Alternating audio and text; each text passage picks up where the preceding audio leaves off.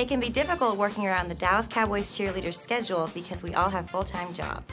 When I'm not a Dallas Cowboys cheerleader, I'm teaching dance. I work at the corporate headquarters of a hair care company.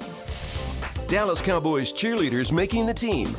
All new episodes, Fridays at 9, 8 Central on CMT.